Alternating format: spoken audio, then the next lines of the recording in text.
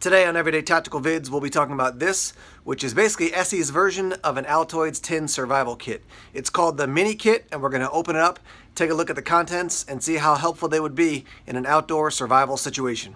So Altoids survival tins are really nothing new. People have been making them and actually selling them for a long time. Let me show you a couple different options you have here when it comes to these small, maybe pocket-sized kits, as we might call them. So here's your standard Altoids tin. It is pretty much the exact same size as the ESEE kit right here. People also make these mini Altoid survival kits or survival tins.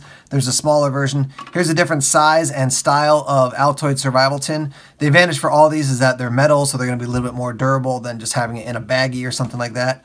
Over here you can see an OtterBox and I actually have an OtterBox survival kit uh, that I made that was built around a waterproof concept and I'll put a link down below if you want to check that out uh, later on. And then over here I think this is just like a container that I got some outdoor gear in, but it's clear. It's got a little clip on the side there. It does have a, um, a gasket, so it should be relatively waterproof or at least water resistant.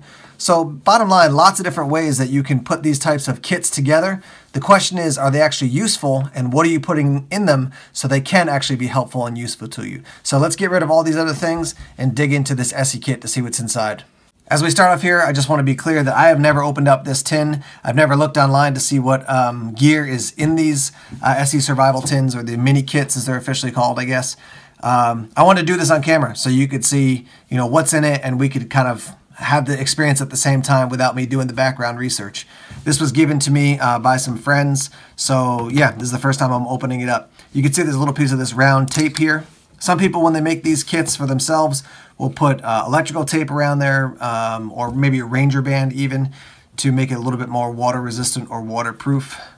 That's what the bottom of the box looks like. So there's that. So let's open it up and see what's inside here. All right, so you open it up, you can see we do have this reflective portion here, so you could certainly use that for signaling if you can get some light to uh, bounce off that. Obviously the sun is the main thing we're thinking about.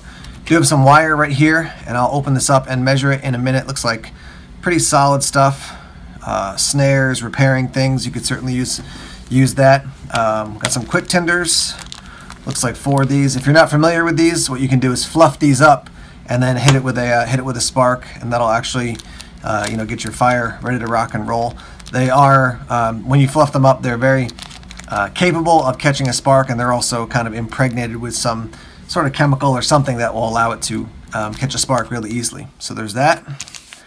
Let's see what else in this little 3M container. So this is a Bright Strike light. When you press this, you can see it flashes, flashes more slowly, steady on, and then off.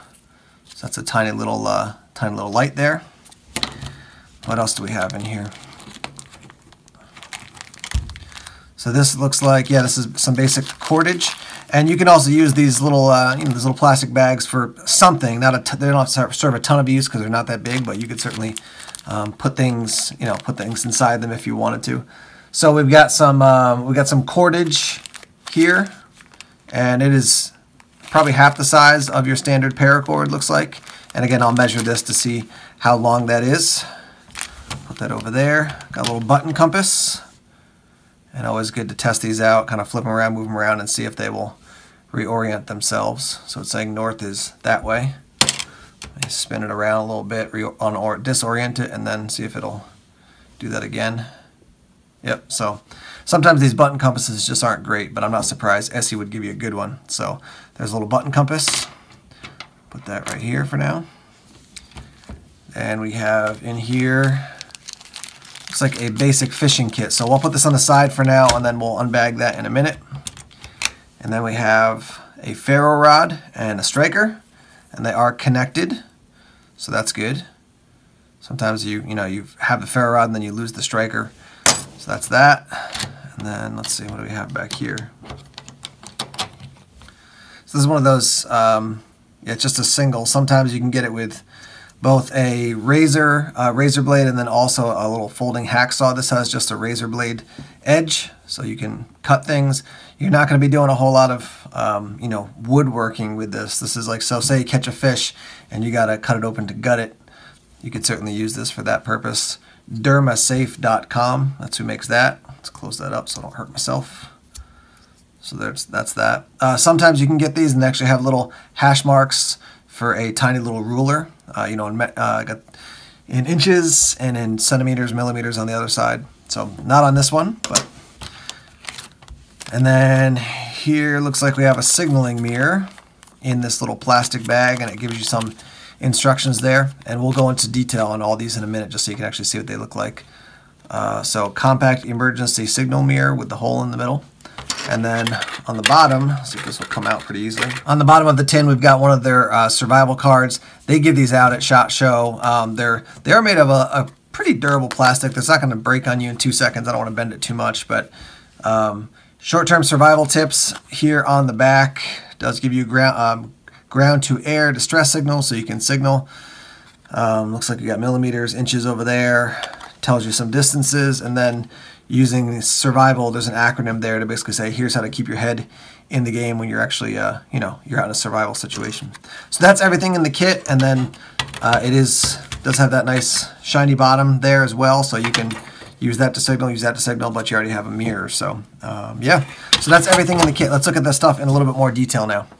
I want to go into detail on some of the items in this kit, but these four right here, it's kind of like what you see is what you get. They're, they're basic, they do their job, the card has information on it. The compass does work. It's very small, obviously. Uh, the razor blade from dermasafe.com is going to be like any other razor blade. It does give you a little bit more stability because you're not holding it in your hands. You've got this little kind of handle. And then the ESEE tin, you know, to carry your items in and to, you know, put some other, other items in if you wanted to. I already mentioned you could use the inside of this as a, a signaling device, but we do have a mirror um, as well in the kit. So these four, you kind of right in front of you, that's what, that's what they are, that's what they do. Let's go into a little bit more detail on some of the other items now. Here's a look at the quick tinder. Uh, this is one of the tabs before it's fluffed up, and that's what it looks like fluffed up. I find if you kind of break it up like this and fluff it to that degree, it's going to catch a spark just fine, and it'll burn for a little bit. So it's not like if you hit a, uh, a bunch of jute twine, that's going to go up really quickly. This will burn for a little bit so you can get your fire going.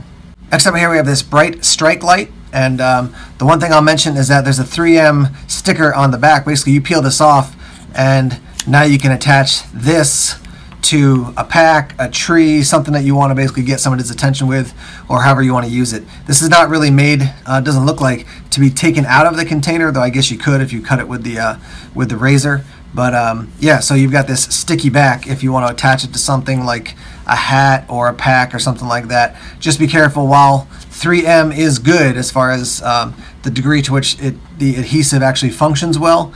If you're out in a very humid situation, it may just, you know, you stick it on something and then it falls off. So I would definitely um, keep this around and I probably wouldn't be using the sticker a ton uh, unless I got to a place where I was absolutely sure that I wouldn't, you know, attach it to something and then have it fall off in a little bit. Here's your ferro rod and your striker. And just to show you that it does work, it will throw a spark. I generally find the cords for these things are just too short, so uh, it's good to keep them together, but if I really want to get a fire going, I'll often detach them, you know, start the fire by striking the ferro rod, and then put the, uh, the, the striker and the uh, ferro rod back together with the cordage. But just to show you that it does work, so that is a functional fire steel.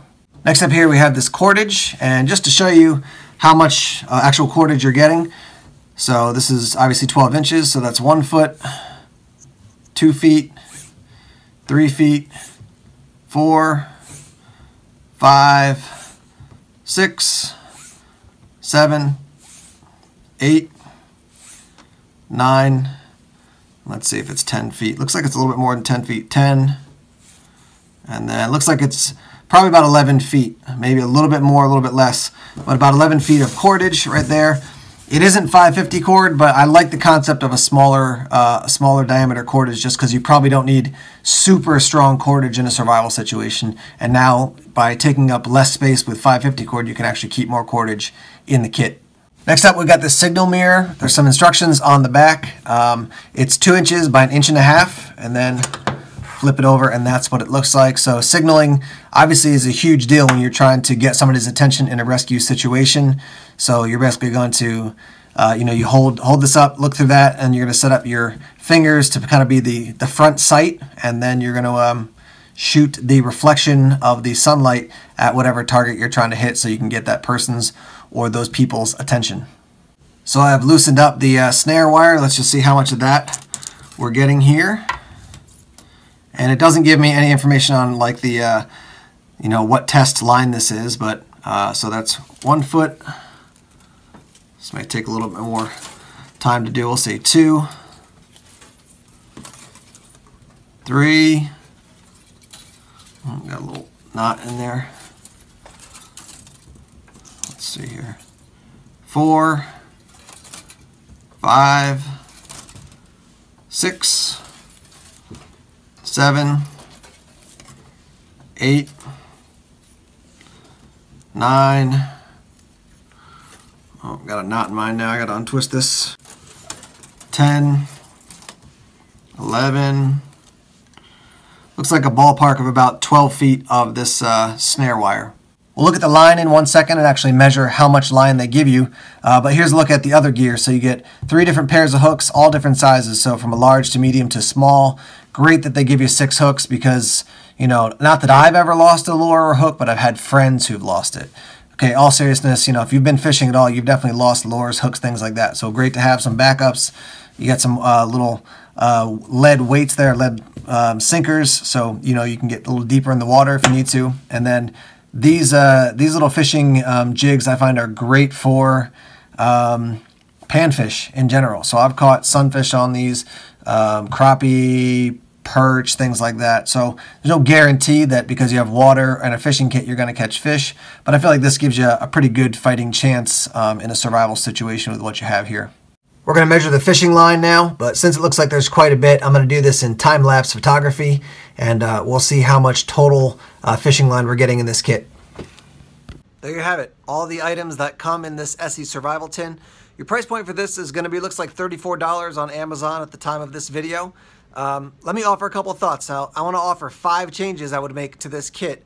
Let me first start off by saying I've interacted with ESEE a variety of times. I haven't gone to any, of their trainings, but having dug around, they seem to know their stuff. So my thoughts are merely thoughts. I'm not trying to say I'm the expert out there. Uh, ESEE, if you're watching this, maybe they're helpful to you and you can make changes. I've spent a lot of time in the woods and the things that I have found most helpful, a lot of them are in this tin.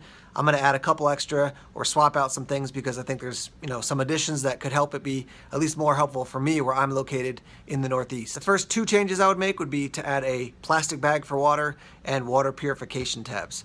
Um, that's a huge deal in the woods. I've experienced dehydration in a variety of settings and it's just no fun. So to have a way to collect water and then to purify it would be a big win for me. So those would be the first two. Uh, the third one is I would um, take out that mirror and instead replace it with an extra razor blade or two and just tape them on the underside of the tin cover because you can use the inside of the tin you know, to reflect as a signaling device. So I just don't think the mirror is that uh, necessary. So that's three. Uh, number four would be I would add maybe a couple small bobbers or maybe a couple extra of those rubber, those little rubber um, jigs. They they can break, they can fall off. They're very small. They're, you can smush them down, and then you just have you know more options for your uh, for your fishing kit. Small bobber, I mean, super small bobbers are not very helpful because they just sink because of the weight of the hook and your bait and whatever. But if you can fit a small bobber in there, I think that could be a nice addition as well. The last change I would make to this kit would be redundancy with fire starting. So you've got the ferro rod, you've got the tinder to get that started, but you know if you have a, a really bad situation where the weather's terrible, I want a lot of options to get fire started. So for me in the woods, water and fire really become those top two priorities once it comes to you know being out there for a while and you know dehydration just starts to kick my butt and then I'm cold at night. I, even if I'm cold during the day I need to warm up after I fell into a lake or something like that. So I would like some other options maybe some waterproof matches maybe some of those fireproof matches that I believe UCO makes uh, whatever it is. Another option to start fire would be uh, an addition or something I would you know swap those in to swap something out. Even if it took up a little bit more space that for me is some peace of mind to know I've got another chance and another opportunity to make fire. Once again, we've been looking at this ESEE survival tin. Now let's hear from you. In the comment section down below, tell us what you think as far as do you like the kit? What changes would you make? Do you have your own Altoid survival tin? I will tell you that this has challenged me to think about, you know, when I build an Altoid survival tin, um, what do I really want to put in it? Um, I can tell you a couple extra things that maybe they wouldn't find helpful, but based on my kind of everyday carry needs, I would uh, I would put in. So yeah, it's going to be interesting to have using this kit as kind of a base for my thinking to jump off into making my own Altoids tin. Stay tuned for a, uh, a future video on that. If you have a uh, Altoids tin that you've made, if you can send me pictures, you can send me links to the video, but comment down below so people can see what you're doing in your survival tins like this. Thanks as always for checking out the videos here on Everyday Tactical Vids. I want to ask you to not only subscribe, but if you click that little bell and you can see it in your mobile setting or also on your computer, that'll give you a little heads up when a new video comes out from Everyday Tactical Vids. So not only are you subscribed, but you're getting notifications as well. Also want to remind you we're on Twitter, Facebook, Instagram, and Tumblr. More videos are coming soon. We've got some reviews and we also have some more instructional teaching and training videos as well. So stay tuned for that. Thanks for watching. Take care.